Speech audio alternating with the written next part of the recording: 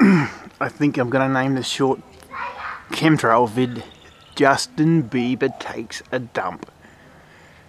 Might get a few hits that way, wake a few folks up because it just intrigues me.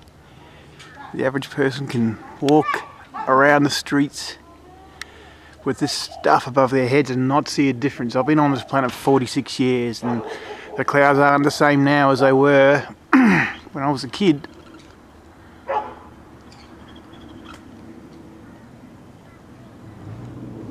I know most of the people that'll look at this will understand what I'm talking about. It's horrifying.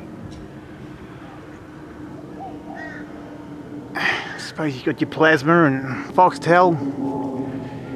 Who gives a shit about having to worry too much about what we're going to be leaving our grandkids? We can worry about that, I guess.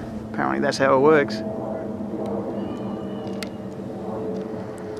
I can promise you, makes me very, very angry. Anyway. June 26th, Gary back at Brisbane. The day wears on. Bye folks.